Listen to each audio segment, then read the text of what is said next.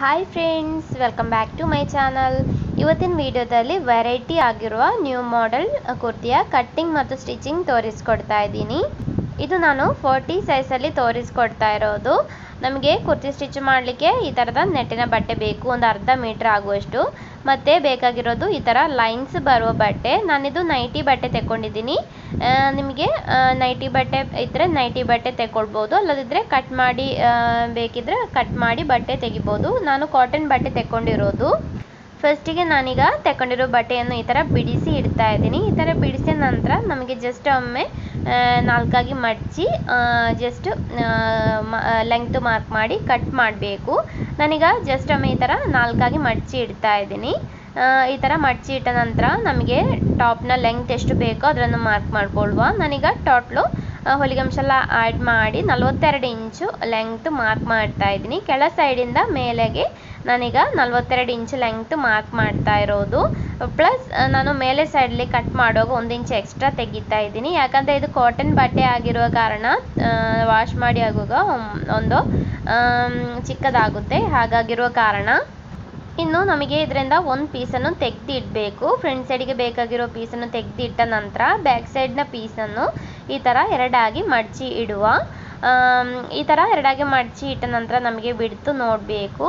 ನನಗೆ ಈಗ ಹದಿಮೂರು ಇಂಚು ಬಿಡ್ತು ಬರುವ ರೀತಿಯಲ್ಲಿ ಮಡಚಿ ಇಟ್ಟಿರೋದು.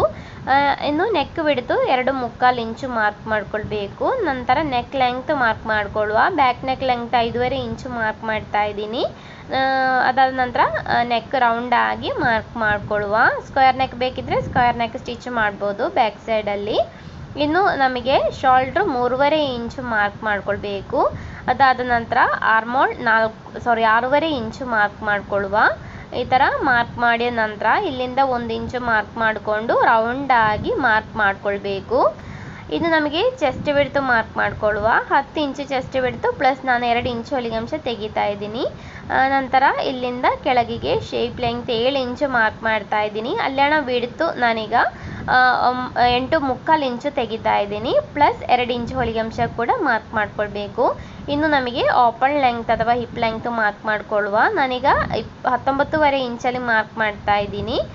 ನಂತರ ಅಲ್ಯಾಣ ಬಿಡ್ತು? ಹತ್ತು ಇಂಚು ಪ್ಲಸ್ ಒಂದು ಇಂಚು ಹೊಲಿಗೆ ಅಂಶ ತೆಕ್ಕೊಂಡ್ರೆ ಸಾಕು. ನಮಗೆ ಈ ಕುರ್ತಿ ಓಪನ್ ಇಲ್ಲದೆ ಕೂಡ ಎ ಲೈನ್ ಮಾಡೆಲ್ ಕೂಡ ಸ್ಟಿಚ್ ಮಾಡ್ಬೋದು. ನಿಮಗೆ ಯಾವ ರೀತಿ ಬೇಕೋ ಆ ರೀತಿ ಸ್ಟಿಚ್ ಮಾಡ್ಕೊಳ್ಳಿ. ನನಗೆ ಸೈಡ್ ಓಪನ್ ಇಟ್ಟು ಸ್ಟಿಚ್ ಮಾಡ್ತೀನಿ. ಇನ್ನು ನಮಗೆ ಕೆಳಗಿನ ಬಿಡ್ತು ಮಾರ್ಕ್ ಮಾಡಿಕೊಳ್ಳುವ. ನನಗೆ ಇಲ್ಲಿ ಇಪ್ಪತ್ತ್ಮೂರು ಇಂಚು ಟೋಟ್ಲು ಬಿಡ್ತು ಬೇಕಾಗಿರೋದು. ಆಗ ಅದರ ಹಾಫು ಹನ್ನೊಂದೂವರೆ ಇಂಚು ಮಾರ್ಕ್ ಮಾಡ್ತಾ ಇದ್ದೀನಿ. ಪ್ಲಸ್ ಒಂದು ಇಂಚು ಹೊಲಿಗೆ ಅಂಶ ಕೂಡ ಮಾರ್ಕ್ ಮಾಡಿದ್ದೀನಿ. ನಂತರ ಸೈಡ್ ಈ ಥರ ಮಾರ್ಕ್ ಮಾಡ್ಕೊಳ್ಬೇಕು. ಸ್ಕೇಲ್ ಯೂಸ್ ಮಾಡಿ ಮಾರ್ಕ್ ಮಾಡ್ಬೋದು. ಇನ್ನು ನಮಗೆ ಇದರನ್ನು ಕಟ್ ಮಾಡ್ಕೊಳ್ಳುವ. ನಾವು ಯಾವ ರೀತಿ ಮಾರ್ಕ್ ಮಾಡಿದೀವೋ ಆ ಮಾರ್ಕಿಂಗಿನ ಮೇಲ್ಗಡೆ ಈ ಥರ ಕಟ್ ಮಾಡ್ಕೊಳ್ಬೇಕು.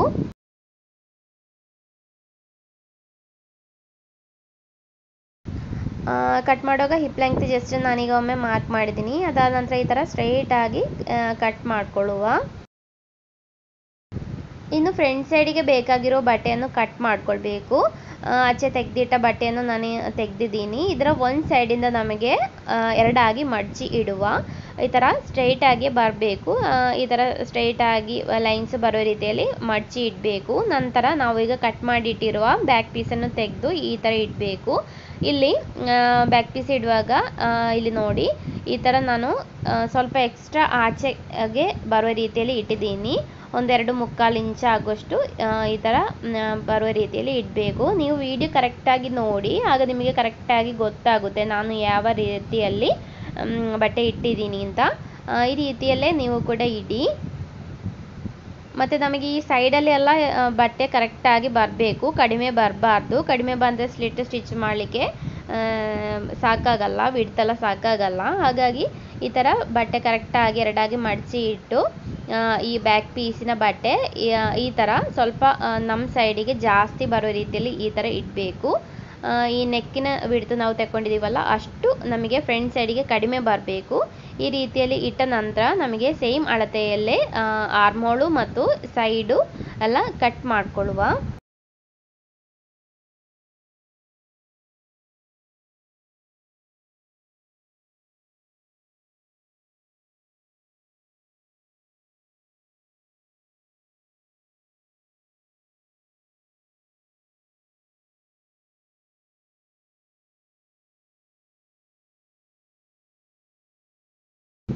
ಇನ್ನಿದ್ರಿಂದ ಬ್ಯಾಕ್ ಪೀಸನ್ನು ಆಚೆಗೆ ತೆಗೆದು ಇಟ್ಟು ಫ್ರಂಟ್ ಸೈಡಲ್ಲಿ ಸೆಂಟ್ರಲ್ಲಿ ಈ ಥರ ಕಟ್ ಮಾಡ್ಕೊಳ್ಳುವ.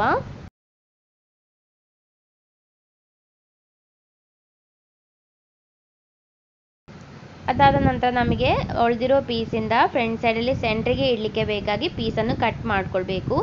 ಇಲ್ಲಿ ನೋಡಿ, ನಾನೀಗ ಸೆಂಟ್ರಿಗೆ ಇಡ್ತಾ ಇರೋದು ಪೀಸ್ನ ಲೈನ್ಸ್ ಈ ಥರ ಬರುವ ರೀತಿಯಲ್ಲಿ ಇಡ್ತಾ ಇದ್ದೀನಿ. ಸೈಡಲ್ಲಿ ಎಲ್ಲ ಸ್ಟ್ರೈಟಾಗಿ ಬರುವ ಲೈನ್ಸು ಈ ಸೆಂಟ್ರಲ್ಲಿ ಮಾತ್ರ ಈ ಥರ ಲೈನ್ಸ್ ಇಡಬೇಕು. ನಾನೀಗ ಹೊಲಿಗೆ ಅಂಶ ಎಲ್ಲ ಆ್ಯಡ್ ಮಾಡಿ ಆರೂವರೆ ಇಂಚ್ ಆಗುವಷ್ಟು ಬಿಡ್ತು ಬರೋ ರೀತಿಯಲ್ಲಿ ಬಟ್ಟೆ ಕಟ್ ಮಾಡ್ತಾ ಇದ್ದೀನಿ. ಜಸ್ಟ್ ಒಮ್ಮೆ ಮಾರ್ಕ್ ಮಾಡಿ ಕಟ್ ಮಾಡ್ತಾ ಇದ್ದೀನಿ. ನಮಗೆ ಈ ಒಂದು ಬಟ್ಟೆ ಮಾತ್ರ ಸಾಕಾಗಲ್ಲ. ಇದು ಮೂವತ್ತ್ಮೂರು ಇಂಚ್ ಲೆಂಗ್ತ್ ಬರ್ತಾ ಇರೋದಷ್ಟೇ. ಸ್ವಲ್ಪ ಕೂಡ ನಮಗೆ ಬೇಕು. ಹಾಗಾಗಿ ಒಂದು ಚಿಕ್ಕ ಪೀಸು ಕೂಡ ನಾವು ಎಕ್ಸ್ಟ್ರಾ ಕಟ್ ಮಾಡ್ಕೊಳ್ಬೇಕು. ಈ ಸೇಮ್ ರೀತಿಯಲ್ಲೇ ಸೇಮ್ ಡಿಸೈನ್ ಬರೋ ರೀತಿಯಲ್ಲಿ ಕಟ್ ಮಾಡ್ಕೊಳ್ಬೇಕು. ಇಲ್ಲಿ ನಾನು ಮೇಲೆ ಸೈಡಲ್ಲಿ ಈ ಥರ ಬಟ್ಟೆ ಇಟ್ಟ ನಂತರ ಎಕ್ಸ್ಟ್ರಾ ಬೇಕಾಗಿರೋದು ಕಟ್ ಮಾಡ್ತಾ ಇದ್ದೀನಿ.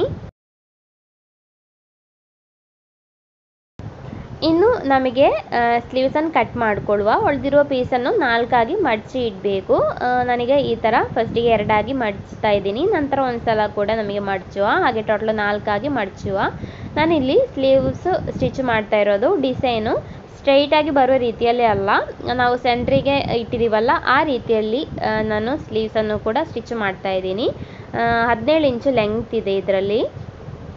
ನಿಮ್ಗೆ ಎಷ್ಟು ಸ್ಲೀವ್ನ ಲೆಂಗ್ತ್ ಬೇಕೋ ಅಷ್ಟು ತೆಕ್ಕೊಳ್ಳಿ. ನಾನು three by fourth sleeve stitch ಮಾಡ್ತಾ ಇರೋದು. ಚಿಕ್ಕ ಸ್ಲೀವ್ ಕೂಡ ಸ್ಟಿಚ್ ಮಾಡ್ಬೋದು. ಮೇಲೆ ಸೈಡಲ್ಲಿ ಎಂಟೂವರೆ ಇಂಚು ಬಿಡ್ತು ಮಾರ್ಕ್ ಮಾಡಿ ನಂತರ ಅಲ್ಲಿಂದ ಕೆಳಗೆ ಮೂರು ಇಂಚು ಪ್ಲಸ್ ಈ ಸೈಡಲ್ಲಿ ಎರಡು ಇಂಚು ಹೊಲಿಗೆ ಅಂಶ ಮಾರ್ಕ್ ಮಾಡಬೇಕು. ಈ ರೀತಿಯಲ್ಲಿ ಮಾರ್ಕ್ ಮಾಡಿ ಆದ ಮೇಲೆ ಇದರ ಕೆಳಗಿನ ಸೈಡು ಬಿಡ್ತು ನಾನು ಹೊಲಿಗೆ ಅಂಶ ಕೂಡ ಆ್ಯಡ್ ಮಾಡಿ ಆರು ಇಂಚು ತೆಗಿತಾ ಇದ್ದೀನಿ. ಈ ಥರ ಮಾರ್ಕ್ ಮಾಡಿಕೊಂಡು ನಮಗೆ ಇಲ್ಲಿ ಈ ಮೇಲೆ ಸೈಡಿಂದ ಕೆಳಗೆ ಮಾರ್ಕ್ ಮಾಡಿಕೊಂಡು ಕಟ್ ಮಾಡಿಕೊಳ್ಳುವ.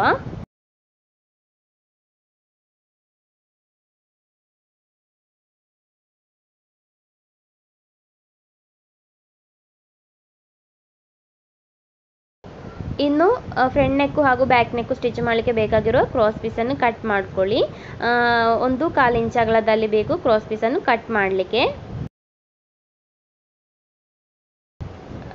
ನಮಗೆ ನೆಟ್ಟಿನ ಪೀಸ್ ಬೇಕು. ನಾನು ಅದು ಸ್ಟಿಚ್ ಮಾಡುವಾಗ ಯಾವ ರೀತಿ ಕಟ್ ಮಾಡಬೇಕು ಅಂತ ಹೇಳ್ಕೊಡ್ತೀನಿ. ಇನ್ನು ಸ್ಟಿಚಿಂಗ್ ನೋಡುವ. ಫಸ್ಟಿಗೆ ನಾವು ಸೆಂಟ್ರಿಗೆ ಇಡಲಿಕ್ಕೆ ಬೇಕಾಗಿ ಕಟ್ ಮಾಡಿರೋ ಪೀಸನ್ನು ಈ ಥರ ಜಾಯಿಂಟ್ ಮಾಡ್ಕೊಳ್ಬೇಕು. ಹೊರ ಸೈಡಿಗೆ ಹೊರ ಸೈಡ್ ಇಟ್ಟು, ಒಳ ಸೈಡಲ್ಲಿ ಕಾಲು ಇಂಚು ಬಿಟ್ಟು ಸ್ಟಿಚ್ ಮಾಡಿ ಜಾಯಿಂಟ್ ಮಾಡ್ಕೊಳ್ಳಿ. ಇಲ್ಲಿ ಎರಡು ಸ್ಟಿಚ್ ಒಳಗಿಂದ ಬೇಕಿದ್ರೆ ಒಳಗಿಂದ ಹಾಕ್ಕೊಳ್ಬೋದು, ಹೊರಗಿಂದ ಒಂದು ಸ್ಟಿಚ್ ಬೇಕಿದ್ರೆ ಆ ರೀತಿಯಲ್ಲಿ ಕೂಡ ಹಾಕ್ಕೊಳ್ಬೋದು.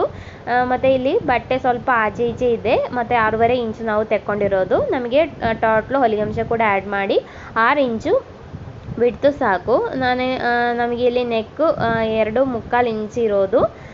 ಎರಡು ಮುಕ್ಕಾಲು ಪ್ಲಸ್ ನಮಗೆ ಎರಡು ಮುಕ್ಕಾಲು ಆಗುವಾಗ ನಮಗೆ ಟೋಟ್ಲು ಬಿಡ್ತು ಐದೂವರೆ ಇಂಚು ಬರುತ್ತೆ. ಪ್ಲಸ್ ಒಂದು ಅರ್ಧ ಇಂಚು ಹೊಲಿಗೆ ಕೂಡ ಆ್ಯಡ್ ಮಾಡಿ, ಆರು ಇಂಚು ಲೆಂಗ್ತ್ ಸಾರಿ ಬಿಡ್ತು ತಗೊಂಡ್ರೆ ಸಾಕು. ನಾನು ಈ ಥರ ಮಾರ್ಕ್ ಮಾಡ್ತಾ ಇದ್ದೀನಿ. ಮಾರ್ಕ್ ಮಾಡಿದ ನಂತರ ಎಕ್ಸ್ಟ್ರಾ ಬರೋದು ನಮಗೆ ಕಟ್ ಮಾಡಿಕೊಳ್ಳುವ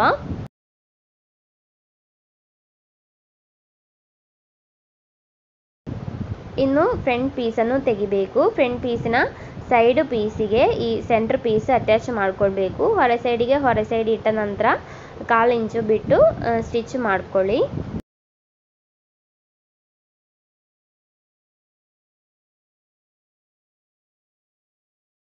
ಇಲ್ಲಿ ಎರಡು ಸ್ಟಿಚ್ ಮಾಡಬೇಕು. ಒಳ ಸೈಡಿಂದ ಎರಡು ಸ್ಟಿಚ್ ಬೇಕಿದ್ರೆ ಒಳ ಸೈಡಿಂದ ಮಾಡ್ಬೋದು. ಹೊರಗಿಂದ ಒಂದು ಸ್ಟಿಚ್ ಬೇಕಿದ್ರೆ ಹೊರಗಿಂದ ಮಾಡ್ಬೋದು. ನಾನೀಗ ಒಳ ಸೈಡಿಂದ ಒಂದು ಸ್ಟಿಚ್, ಹೊರ ಸೈಡಿಂದ ಒಂದು ಸ್ಟಿಚ್ ಮಾಡ್ತಾ ಇದ್ದೀನಿ. ನಿಮ್ಮ ಇಷ್ಟದಾಗಿ ಮಾಡ್ಕೊಳ್ಳಿ. ಇನ್ನು ಆಚೆ ಸೈಡ್ ಪೀಸು ಕೂಡ ಈ ಥರ ಹೊರ ಸೈಡಿಗೆ ಹೊರ ಸೈಡ್ ಇಟ್ಟು ಜಾಯಿಂಟ್ ಮಾಡ್ಕೊಳ್ಬೇಕು.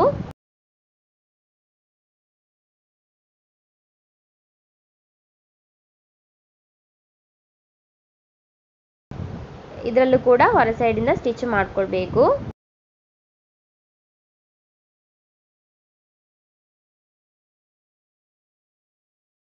ಇನ್ನು ನಮಗೆ ನೆಟ್ಟಿನ ಬಟ್ಟೆ ತೆಗೆಯುವ, ನೆಟ್ಟಿನ ಬಟ್ಟೆ ಎಷ್ಟು ಲೆಂಗ್ತಲ್ಲಿ ಬೇಕು ಅಂತ ನೋಡಿಕೊಂಡು ಕಟ್ ಮಾಡ್ಕೊಳ್ಬೇಕು. ನಮಗೆ ನೆಟ್ಟಿನ ಬಟ್ಟೆ ಇಲ್ಲದಿದ್ದರೆ ಎಂಬ್ರಾಯ್ಡ್ರಿ ಇರುವ ಬಟ್ಟೆ ಇದ್ದರೆ ಅದು ಕೂಡ ಯೂಸ್ ಮಾಡ್ಬೋದು.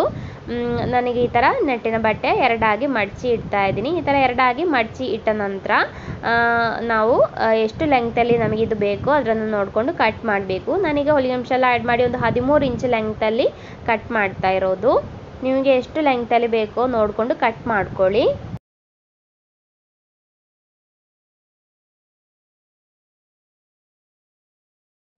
ಇನ್ನು ಈ ನೆಟ್ಟಿನ ಪೀಸು ಫ್ರಂಟ್ ಸೈಡಿಗೆ ಇಟ್ಟು ಸ್ಟಿಚ್ ಮಾಡ್ಕೊಳ್ಬೇಕು. ನನಗೆ ಈ ಥರ ಇಡ್ತಾ ಇದ್ದೀನಿ. ಈ ಥರ ಇಟ್ಟ ನಂತರ ನಮಗೆ ಪಿನ್ ಮಾಡಿಕೊಳ್ಳುವ. ಮೇಲೆ ಶಾಲ್ಡ್ರನ್ನ ಅಲ್ಲಿ ಎಲ್ಲ ಪಿನ್ ಮಾಡಿದ ನಂತರ ನಮಗೆ ಕೆಳ ಸೈಡು ಮಡಚಿ ಸ್ಟಿಚ್ ಮಾಡ್ಕೊಳ್ಬೇಕು. ಬಟ್ಟೆ ಆಚೆ ಈಚೆ ಆಗಬಾರ್ದು. ಕರೆಕ್ಟಾಗಿ ಬರಬೇಕು. ಈ ರೀತಿಯಲ್ಲಿ ಪಿನ್ ಮಾಡ್ಕೊಳ್ಳಿ.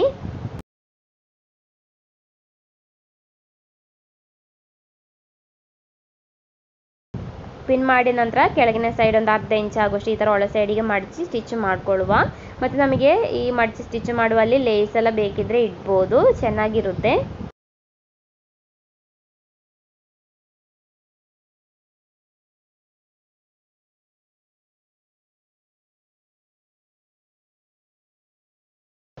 ಈ ಥರ ನಾನೀಗ ಸ್ಟಿಚ್ ಮಾಡಿದ್ದೀನಿ ಇನ್ನು ನಮಗೆ ಈ ನೆಟ್ಟಿನ ಪೀಸ್ ಇಲ್ಲಿ ನೋಡಿ ಆರ್ಮೋಳಿನಲ್ಲಿ ಎಲ್ಲ ಎಕ್ಸ್ಟ್ರಾ ಇದೆ. ಅದರನ್ನೆಲ್ಲ ಈ ಥರ ಕಟ್ ಮಾಡ್ಕೊಳ್ಳುವ. ಸೇಮ್ ಮೆಷರ್ಮೆಂಟಲ್ಲಿ ಈ ಥರ ಕಟ್ ಮಾಡ್ಕೊಳ್ಬೇಕು.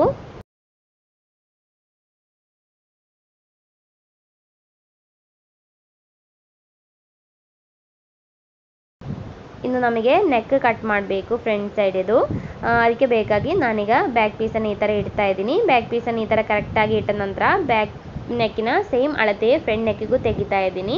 ನಿಮಗೆ ಫ್ರಂಟ್ ನೆಕ್ ಲೆಂತ್ ಜಾಸ್ತಿಯೋ ಕಡಿಮೆಯೋ ಬೇಕಿದ್ದರೆ ತೆಗಿಬೋದು. ವಿಡ್ತು ಸೇಮ್ ಆಗಿಯೇ ತೆಕ್ಕೊಳ್ಬೇಕು. ನಾನೀಗ front neck back neck length width ಎಲ್ಲ ಸೇಮ್ ಆಗಿ ಕಟ್ ಮಾಡಿದ್ದೀನಿ. ಇನ್ನು ನಮಗೆ front neck cross piece use ಮಾಡಿ ಸ್ಟಿಚ್ ಮಾಡಿಕೊಳ್ಳುವ. ಫ್ರಂಟ್ ನೆಕ್ಕಿನ ಒಳ ಸೈಡಿಗೆ ಕ್ರಾಸ್ ಪೀಸಿನ ಹೊರ ಸೈಡ್ ಇಡಬೇಕು. ಕ್ರಾಸ್ ಪೀಸ್ ನಾನು ಆಲ್ರೆಡಿ ಜಾಯಿಂಟ್ ಮಾಡಿ ತೆಕ್ಕೊಂಡಿದ್ದೀನಿ.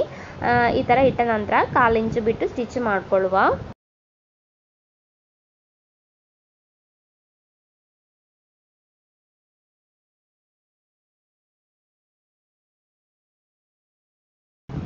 ಇನ್ನು ಈ ಥರ ಎಕ್ಸ್ಟ್ರಾ ಬರೋ ಪೀಸನ್ನು ಕಟ್ ಮಾಡ್ಕೊಳ್ಳಿ. ನಂತರ ನೆಕ್ಕಿಗೆ ಈ ಥರ ಚಿಕ್ಕ ಚಿಕ್ಕ ಕಟ್ಟಿಂಗ್ ಕೊಟ್ಟು ಈ ಕ್ರಾಸ್ ಪೀಸನ್ನು ಹೊರ ಸೈಡಿಗೆ ಅರ್ಧ ಇಂಚು ಪ್ಲಸ್ ಅರ್ಧ ಇಂಚು ಅಗಲದಲ್ಲಿ ಮಡಚಿ ಸ್ಟಿಚ್ ಮಾಡಬೇಕು.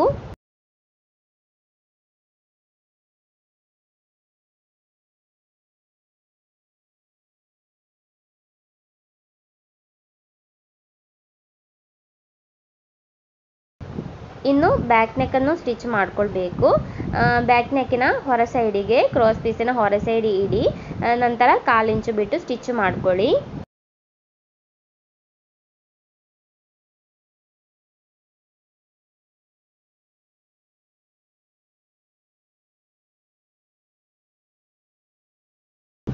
ಎಕ್ಸ್ಟ್ರಾ ಕ್ರಾಸ್ ಪೀಸನ್ನು ಕಟ್ ಮಾಡಿದ ನಂತರ ನೆಕ್ಗೆ ಚಿಕ್ಕ ಕಟ್ಟಿಂಗ್ ಕೊಡಿ. ಅದಾದ ನಂತರ ಬ್ಯಾಕ್ ಪೀಸಿನ ಹೊರ ಸೈಡಿಗೆ ಫ್ರಂಟ್ ಪೀಸಿನ ಹೊರ ಸೈಡ್ ಇಟ್ಟು ಬ್ಯಾಕ್ ನೆಕ್ಕಿನ ಕ್ರಾಸ್ ಪೀಸನ್ನು ಫ್ರಂಟ್ ಸೈಡಿಗೆ ಈ ಥರ ಅರ್ಧ ಮಡಚಬೇಕು. ಈ ಥರ ಅರ್ಧ ಮಡಚಿದ ನಂತರ ಅರ್ಧ ಇಂಚು ಬಿಟ್ಟು ಶಾಲ್ಡ್ ಜಾಯಿಂಟ್ ಮಾಡಬೇಕು. ಫಸ್ಟಿಗೆ ಈ ಥರ ಸ್ಟಿಚ್ ಮಾಡಿ ಲಾಕ್ ಮಾಡ್ಕೊಳ್ಳಿ. ನಂತರ ಅರ್ಧ ಇಂಚು ಬಿಟ್ಟು ಈ ಥರ ಸ್ಟಿಚ್ ಮಾಡ್ಕೊಳ್ಬೇಕು. ಎರಡು ಸ್ಟಿಚ್ ಮಾಡ್ಕೊಳ್ಳಿ.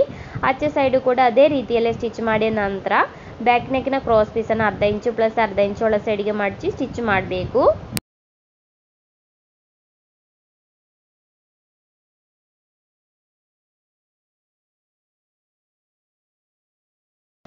ಇನ್ನು ಸ್ಲೀವ್ಸ್ನ ಪೀಸನ್ನು ತೆಗೊಳ್ಳುವ ಸ್ಲೀವ್ಸ್ನ ಪೀಸ್ನ ಕೆಳಗಿನ ಸೈಡು ಮಡಚಿ ಸ್ಟಿಚ್ ಮಾಡಬೇಕು. ಇಲ್ಲಿ ನೂಲು ಹೋಗದ ಸೈಡ್ ಆಗಿರುವ ಕಾರಣ ಅರ್ಧ ಇಂಚು ಮಾತ್ರ ನಾನಿಲ್ಲಿ ಮಡಚಿ ಸ್ಟಿಚ್ ಮಾಡ್ತಾ ಇರೋದು. ನಿಮಗೆ ಬೇಕಿದ್ರೆ ಅರ್ಧ ಇಂಚು ಪ್ಲಸ್ ಅರ್ಧ ಇಂಚು ಮಡಚಿ ಸ್ಟಿಚ್ ಮಾಡ್ಬೋದು.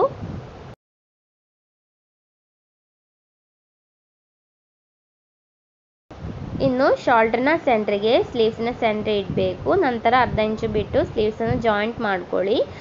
ಇದೆಲ್ಲ ಡೀಟೇಲ್ ಆಗಿ ನಾನು ಆಲ್ರೆಡಿ ವಿಡಿಯೋ ಅಪ್ಲೋಡ್ ಮಾಡಿದ್ದೀನಿ ಫ್ರೆಂಡ್ಸ್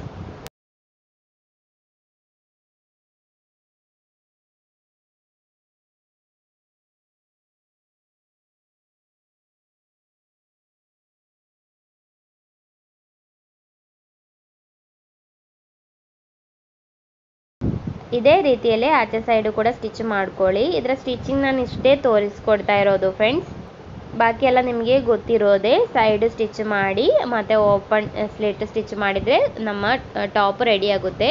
ಫೈನಲ್ ಲುಕ್ ಈ ಥರ ಇದೆ ಫ್ರೆಂಡ್ಸ್ ಖಂಡಿತ ನೀವು ಕೂಡ ಈ ವೆರೈಟಿ ಒಮ್ಮೆ ಟ್ರೈ ಮಾಡಿ ನೋಡಿ. ಸ್ಲಿಟ್ ಇಡದೆ ಬೇಕಿದ್ದರೆ ಎಲೈನ್ ಮಾಡೆಲ್ ಬೇಕಿದ್ದರೆ ಎಲೈನ್ ಮಾಡೆಲ್ ಸ್ಟಿಚ್ ಮಾಡ್ಬೋದು. ನಿಮಗೆ ಈ ವಿಡಿಯೋ ಇಷ್ಟ ಆಗಿದ್ರೆ ಪ್ಲೀಸ್ ಲೈಕ್ ಮಾಡಿ, ಮತ್ತು ಫ್ರೆಂಡ್ಸಿಗೆ ಎಲ್ಲ ಒಮ್ಮೆ ವಿಡಿಯೋ ಶೇರ್ ಮಾಡಿ ಸಪೋರ್ಟ್ ಮಾಡಿ. ಚಾನಲ್ ಸಬ್ಸ್ಕ್ರೈಬ್ ಮಾಡೋದವರಿದ್ರೆ ಒಮ್ಮೆ ಸಬ್ಸ್ಕ್ರೈಬ್ ಮಾಡಿ friends thank you for watching